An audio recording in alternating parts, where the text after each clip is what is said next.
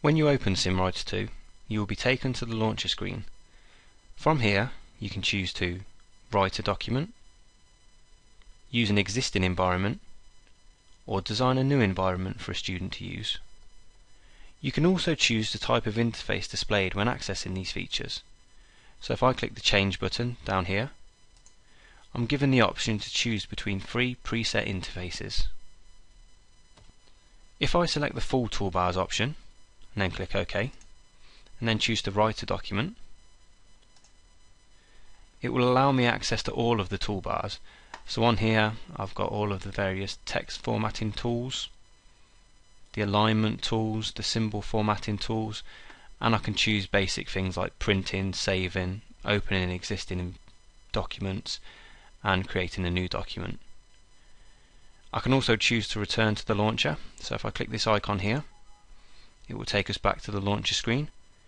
And if I select a different interface option, so this time if I select the environment toolbars and choose to open an existing environment,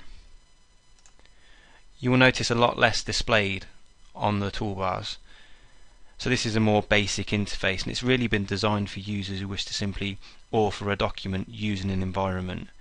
Uh, this toolbar could be useful for a switch user or someone who is not that confident with writing. So it's a more basic interface. So if I go back to the launcher screen and choose the final interface, the writing toolbars interface, and again if I choose to write a document, you'll notice that this interface is kind of between the two. It's a more varied interface than the environment toolbars, but not as extensive as the full toolbars. So this is kind of aimed at users who want to author a document with or without an environment. If I go back to the launcher, you can also access a variety of support materials. So if I click on Help and Tutorials, you can access the product manual, PDF help sheets, and a tutorial environment.